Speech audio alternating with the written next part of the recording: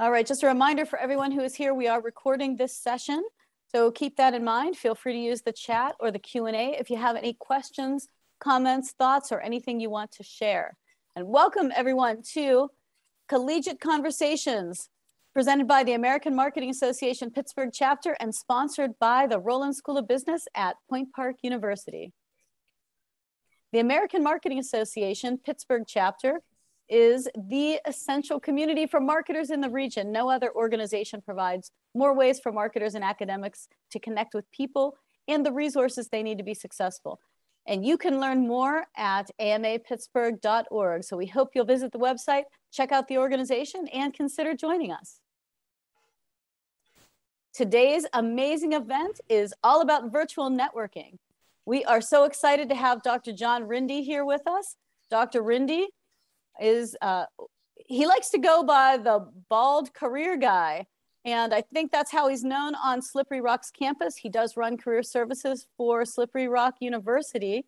And he believes strongly in the value of networking and has some personal anecdotes along with some training to share. So, as we get started with today's session, this really has two parts. The first part is going to be Dr. Rindy sharing his wealth of knowledge on how to network and why to network.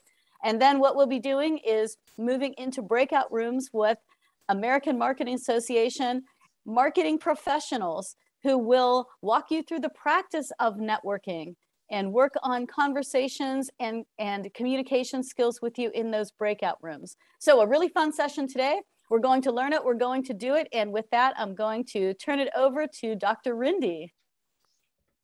Well, thanks a bunch, Doreen. I appreciate it. Thank you to uh, to you and to Ashley and to Nan for not only inviting me but keeping me updated on changes and links and everything else. So I really appreciate that. Nice to meet you all. And uh, my my favorite thing would be to go around and have everybody introduce themselves and then tell me what you're doing on your winter break. Uh, but we don't have a lot of time for that, right? Because you want to do some breakout sessions in a little bit and maybe try some questions. And I'm going to provide some questions and maybe discuss during those uh, those breakouts. But uh, I wanted to come clean. I'm going to go ahead and share my screen, and, and I'm actually going to share a copy of a book here. Uh, I, I want to come clean that uh, I and uh, Dr. Nichols. I've been in front of Dr. Nichols and Dr. Vitas class before, and uh, they they um, they can attest that I rarely go unheard and I rarely run out of things to say. So we're going to keep this to half an hour. I promise. I promise. But uh, I, I, don't know if I'd love to hear myself talk or what. No, in real, in reality, uh, despite the fact, uh, and I'm speaking mostly to to the students because I, I think some of the uh, professors and professionals in the room understand this that uh, I'm actually not an extrovert. Uh, I'm going to a networking event in a little bit here, and there'll be a number of people in the room, and I'll have to leave every now and then to, to collect myself. And yet, uh, over time, by pushing myself a little bit, a little bit more, and a little bit more, I've gotten good at, at, at writing connections on LinkedIn. I've gotten good at standing in front of a group of 30, then then 50, then 300, then 1,000 people and speaking. Uh, I happen to be a professional musician, so I've played in front of pretty big crowds as well. I've opened up for some really great acts. Uh, I've played with Kansas. I've played with the Commodores. I've played, played with Bobby Blue Bland, Ray Charles. So I've been on stage with some really great people. And yet I, am I'm, I'm not an introvert. I'm not an extrovert. I'm in the middle. I'm called a, what's called an ambivert. So I sit right on that on that line where I need to retreat to my quiet space to do my work. I really do. And big networking events in person where everybody hangs around the bar because that's where all the people go. That's where all the networking and the fist bumping and the elbow bumping is. That drives me nuts. So um, if you look at, uh, I think I'm sharing my, am I sharing my screen now? Everybody, can you see what I'm sharing? Book called you Quiet. All right, great. And it usually outlines the thing, but it's not outlining it, lining it in green like it usually does. Yeah, so this is a great book that we have encouraged for many years that our team in the Office of Career Education and Development at Slippery Rock to read. We ask our GAs to read it. We have a team of about 11 career coaches at, uh, at Slippery Rock. And when you have a, a four-year career model like we do, you get a lot of traffic. So we see three to four, 3,000 to 4,000 students a year. I actually am the former director. I now oversee several offices offices, but I'm very connected to the uh, career office. But this is a book that we real one of several books we ask our folks to read. Susan Cain is an attorney. She is a self-professed introvert. That also represents about 40% of the uh, of the uh, U.S. So uh, about four in 10 people would identify as introverts, probably six in 10 as, uh, as extra, extroverts. And then there is a small percentage, if you know what an ambivert is, you'd realize you're probably an ambivert if you sit on that, uh, that line. The reason I mentioned that to get started, and, and I'm going to go ahead and, uh, oh, let's see, I'll just start this, uh, this slide presentation, is because there's this mis, misperception that somehow, um, you know, that it, that networking is only for the extroverts you know that but but it's not true and in fact in the virtual network in the virtual environment there's some advantages particularly for for really for everybody the extrovert who wants to meet tons of people as well as somebody who is a little quiet. I never want to hear anybody say that i'm shy. Uh, shy is not shy is different from an introvert. Shy is is something that you you might need to go get treated for whereas introvert is quiet. And dr and uh, Attorney Cain makes a great point in the book that that you're just quiet. You need to retreat to your quiet space. You live in your mind. When other people are doing this, you tend to be listening. And so sometimes extroverts misinterpret introverts as not, as not liking them, when in reality, they're doing something that we Americans are not particularly good at doing, and that's listening.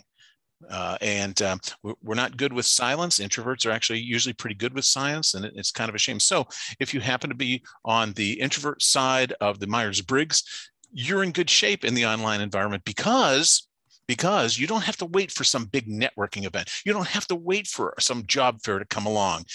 You can network when you're ready to do it with that one-on-one kindred spirit get to know you more deeply because I know sometimes introverts tell me I get very nervous with the with the small talk. So when you do in your when you get into your breakout sessions, I try to come up with four questions or four topical discussion areas that might generate less small talk, but more help and support among one another. So let's get started. This is one of my favorite guys of all time. And I, I don't know if anybody in the room has ever heard of Dr. John Krumboltz. And it's sort of like, hey, bald guy, shame on you for starting with theory. Who starts a presentation like this by forcing students and professors who sat in classrooms all day to have to listen to yet another theory? Dr. John Krumboltz is the author uh, and, and the founder of the theory of planned happenstance or happenstance learning theory. Now, when we go to when we go to high school and we're in middle school, we hear things like, "What, what are you going to be? What, what, would you like to do? What classes did you like?" And and yet and yet, the average high school senior graduates from high school aware of less than two percent of the thirty thousand sub occupations that exist. And then we ask you, what are you going to be? And why can't you tell me? And what are you going to major? And then we wonder why seven out of ten college, uh, college students change their major na- nationwide. Are we starting to see the problem here? Dr Krumboltz said no that's all wrong. And high schools still aren't listening but hopefully they'll listen soon. Dr Krumboltz said no no no. The goal of career coaching is and this ties directly into networking by the way goal number one is to achieve a satisfying career and personal life well, wait a minute. I thought I was supposed to make money. Oh, I thought I was supposed to be called doctor so people are impressed. No, no. He makes a point that it's about joy. What students, what makes you joyful? What make, gives you energy? When you know things about yourself like this, what skills you bring to the table, what connections you could share, now you're becoming a great connector too. But until you actually do some self thought, some mindfulness, and understand what you actually, you know, the second to the last question in a job interview is, why should I hire you? Oh, that means why should I hire you and not the other three people who just told me I'm a people person and I work well with others and I'm a team player. You know, that recruiter heard that, that same response 50 times today alone. No, seriously, what do you bring to the table? Because when you finally do come to the table, whether it's virtual or in person, you can have a conversation because you know what you bring and you also know your goals and what you'd like to achieve. So Dr. John, John Krumboltz says it's about a satisfying career in life. Number two, you should use self-knowledge as a roadmap. Whether you take a career assessment, whether you take a strengths finder, that is stuff that that helps you determine the direction you're going and the network you should be building to help you get to where you want to go.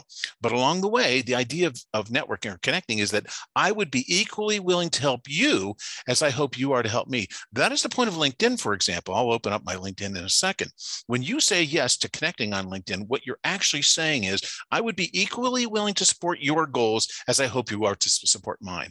And i know students that the feeling is and i'm sorry i'm constantly directing to the students. It's just my life. It's my paradigm. Uh, but and and and for the for the professionals in the room as well.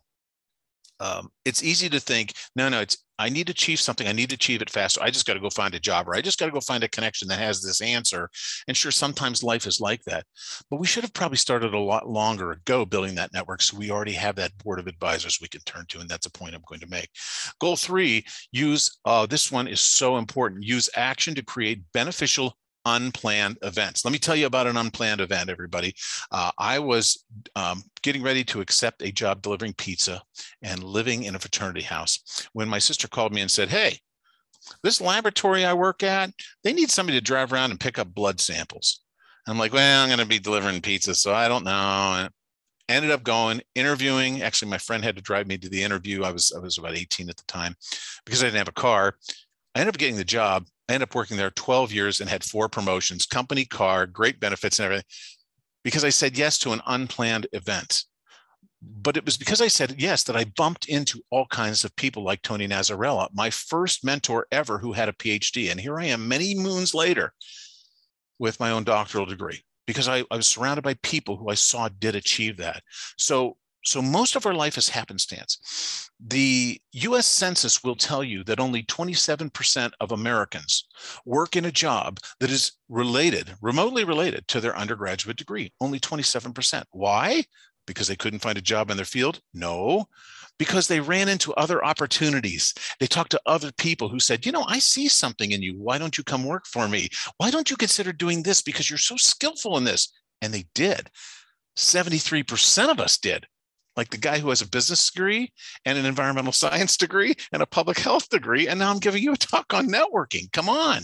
Happenstance pulls you in those directions. And last but not least, we measure success by the fruits our actions produce. Do we move toward our goals by what we accomplish, not in the classroom, but outside that classroom, co curricularly, and the people we're meeting in AMA? So, there we go. Uh, this is Donald Robinson. Donald Robinson is a graduate of Slippery Rock, and I had lunch with him a couple weeks ago, and I asked him all kinds of questions. You know, um, at, at, at most institutions, there is a, about a 20% disparity in the graduation rates of Caucasian students to African American students. You look at almost any school, and there's at least a 5 to 20, maybe 20, 25, 30% disparity difference. And I and what the conversation inevitably turned to, hey, uh, hey, Donald, what what was different for you? And he said, I, I built my team of experts. And I said, Yeah, you came in to see me a lot. I mean, we talked about, hey, you know, someday, uh, Dr. Rindy, I think I want to start my own athletic shoe company. And we talked about what it would take to get into Nike and work. You know, uh, the guy ended up going to the University of Texas, got his uh, master's in kinesiology, and he opened up his own business, Global Human Performance, there in Pittsburgh, where he trains uh, elite athletes. I love this phrase.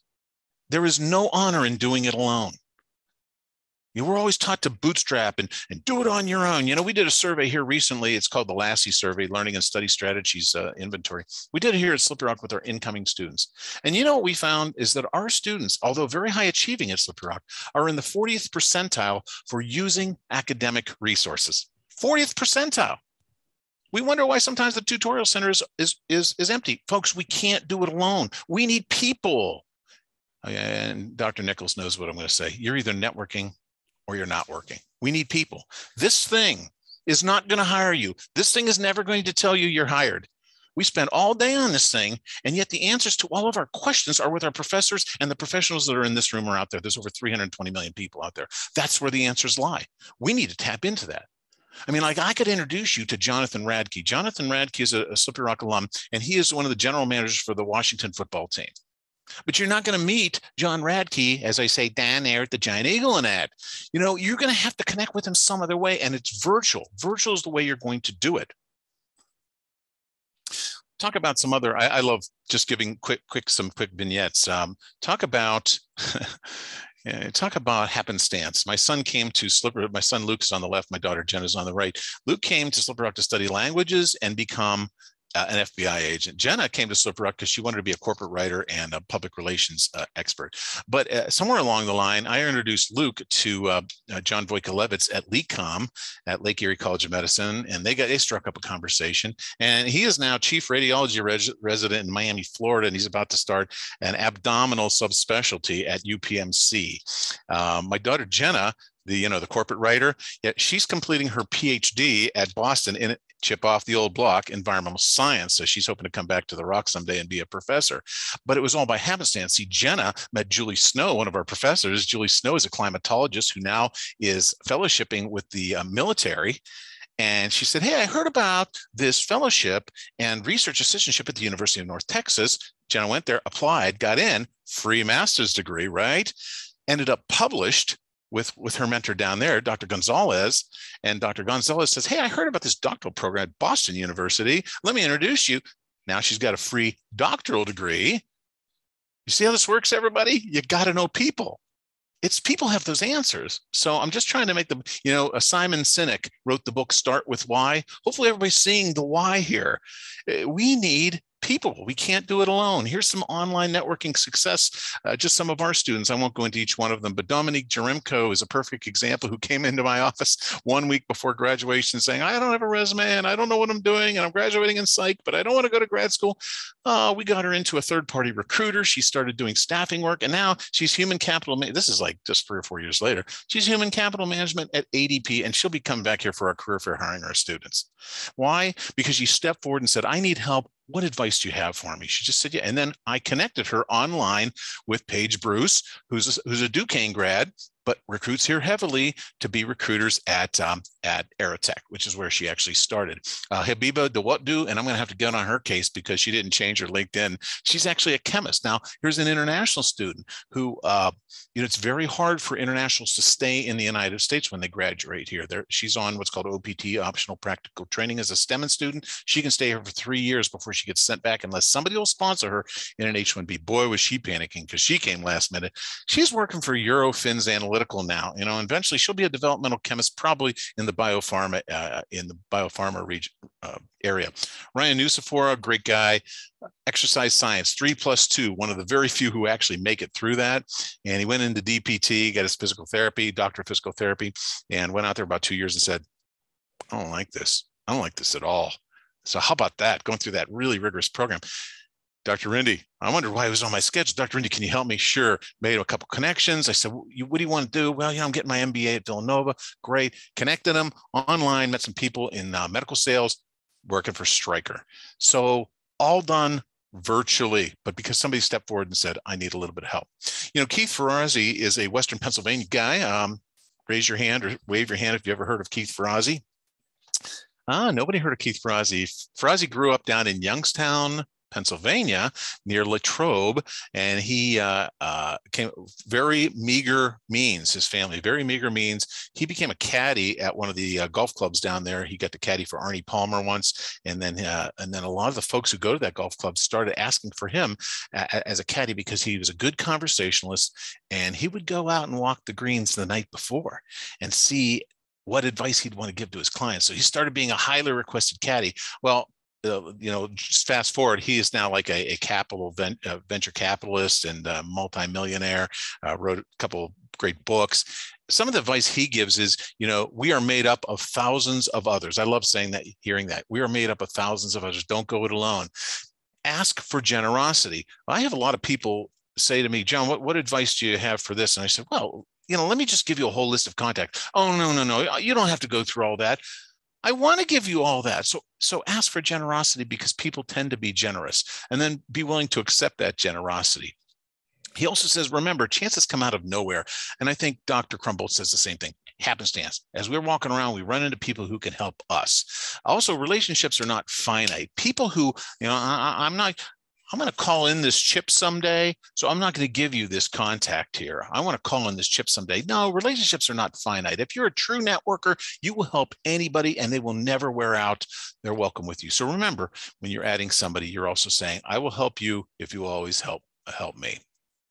Here's the advice I give everybody build and maintain your network.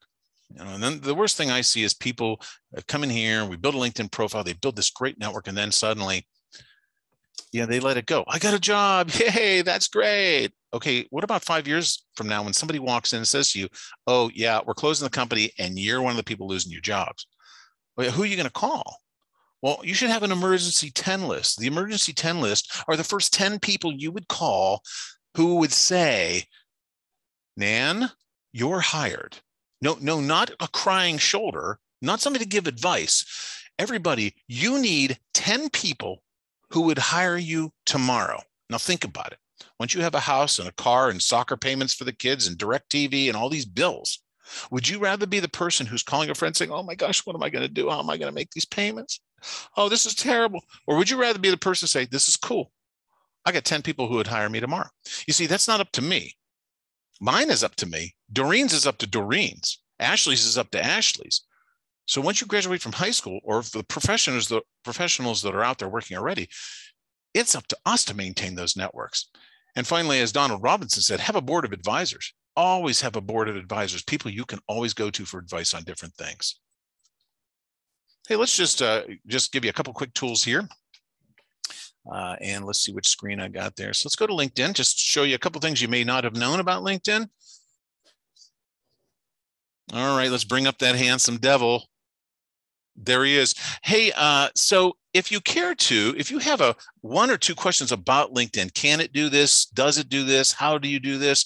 Let me hear it from. Do you anybody have a particular question about LinkedIn? I've always wondered if it does this. Anybody, anything off the top of your heads? And feel free to put it into the chat if you That have too. a question. That would be a great way to get it to Dr. Rindy. You have the expert here now, so take advantage of his time.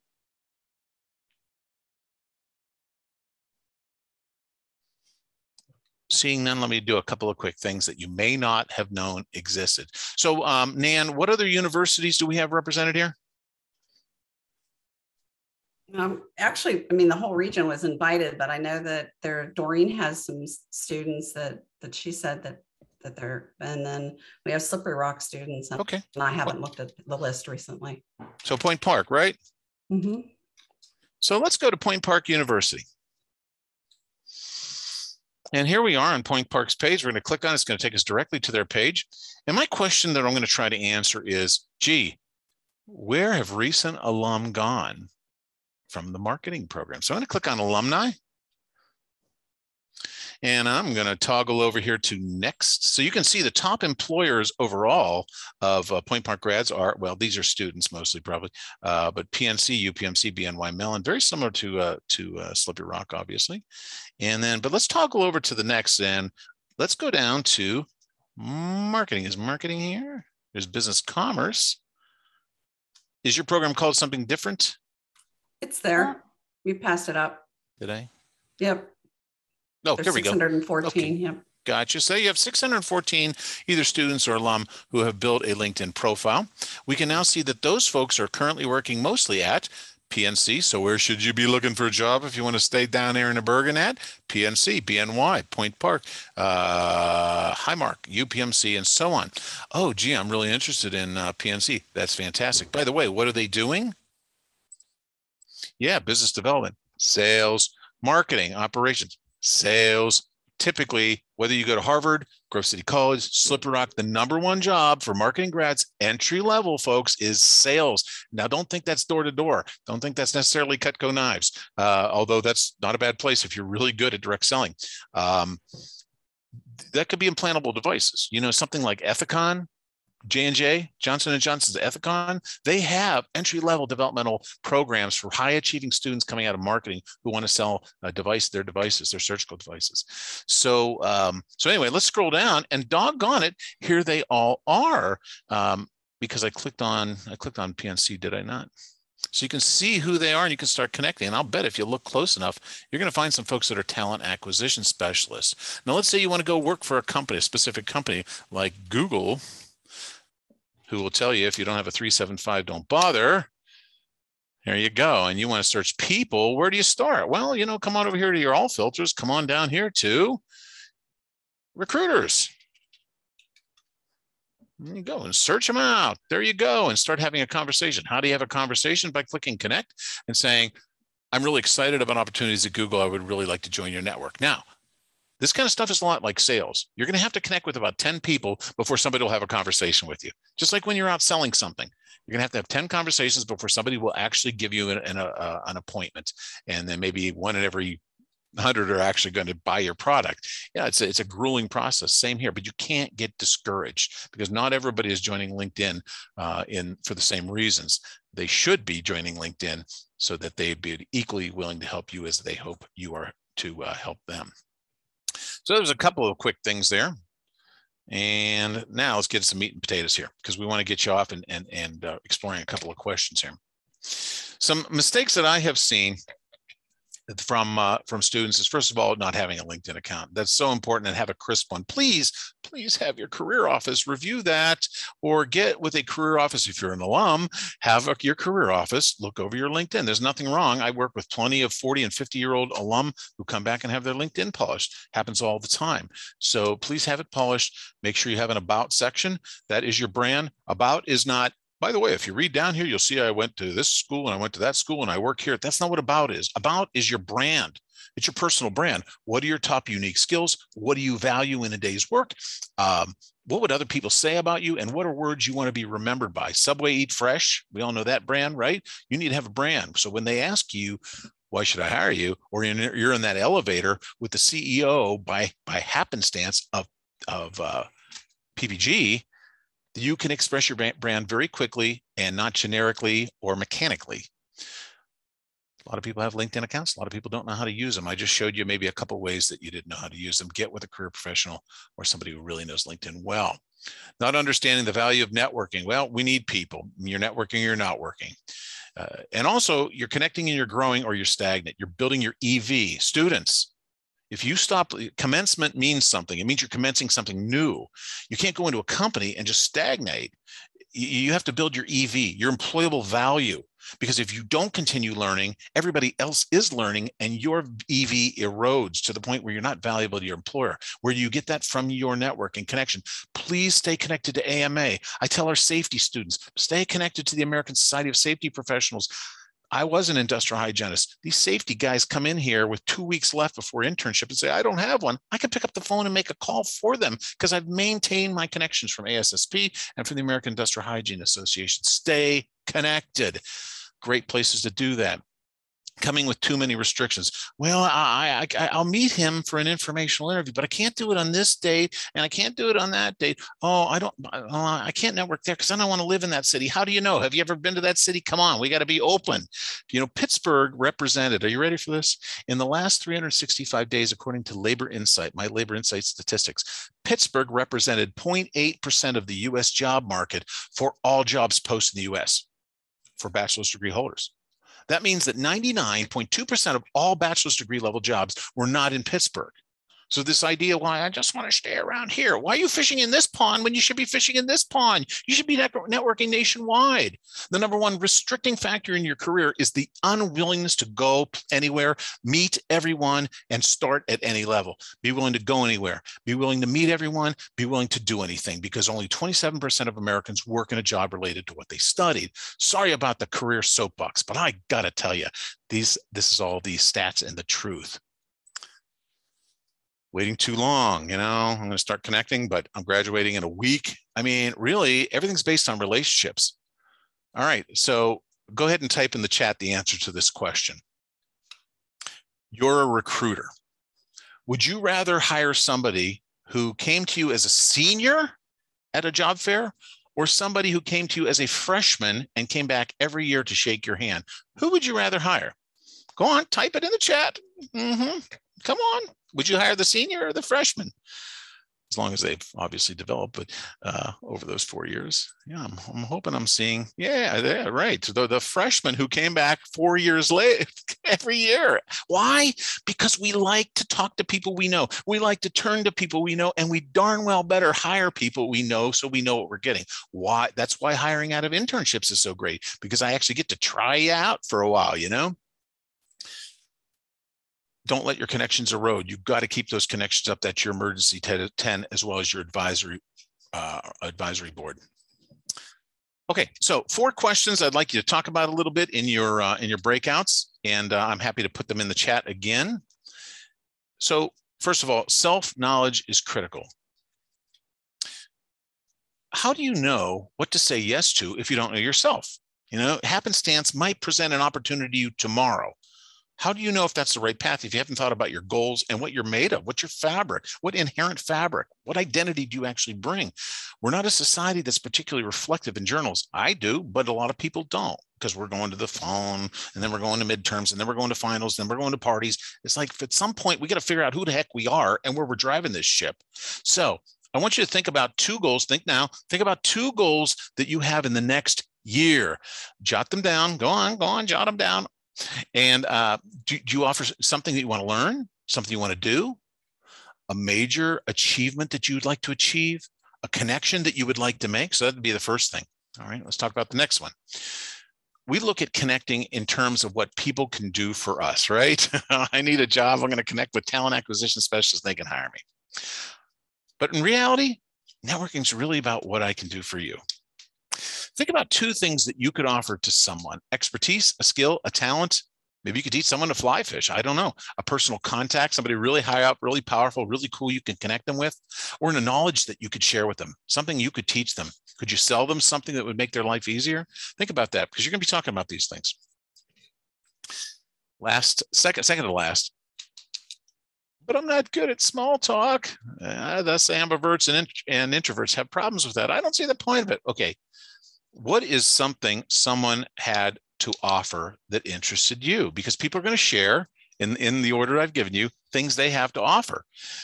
Ask them to tell you more and then listen to the answer.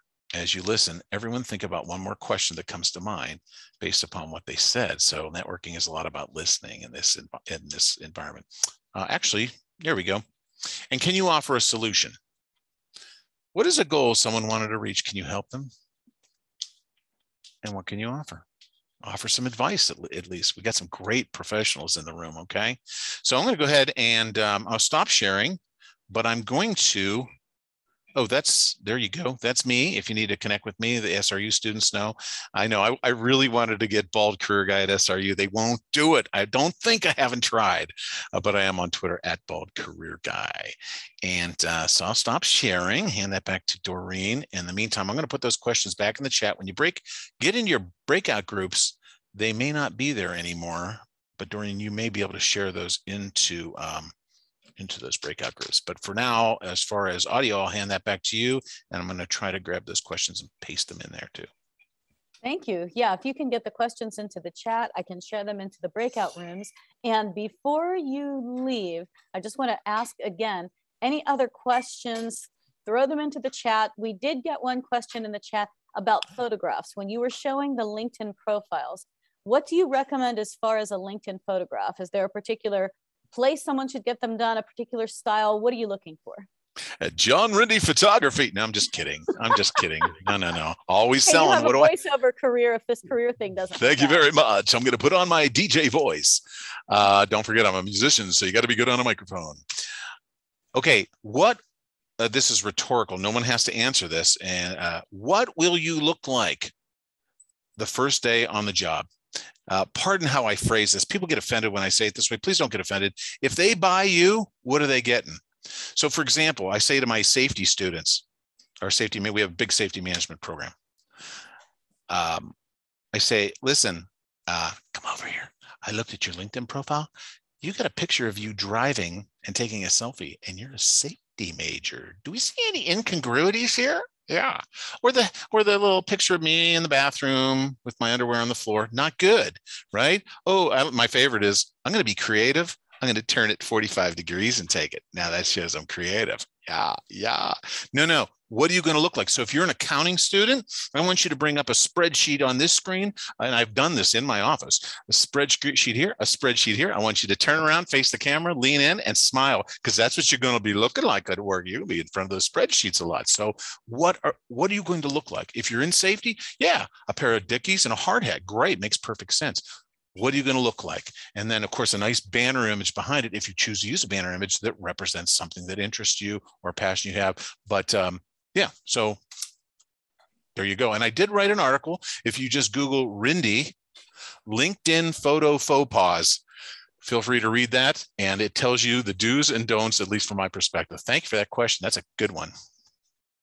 Let's see, it looks like we have a, a comment that iPhone portrait mode is great on the newer models. Okay.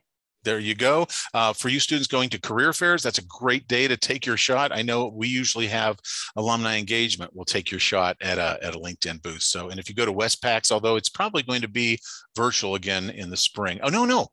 This time Westpacs is going to offer an in-person at Monroeville one day and the next day virtual or vice versa. I just learned that yesterday. Um, Slippery Rock students, we're going to try a spring career fair. We don't usually do one, but we're going to try it on the 31st of March. So you'll be able to take a LinkedIn headshot that day if you want to. And my AMA um, leaders should be thinking about maybe we could do something like that and offer it as a service in the school. Fundraiser, fundraiser. Great ideas.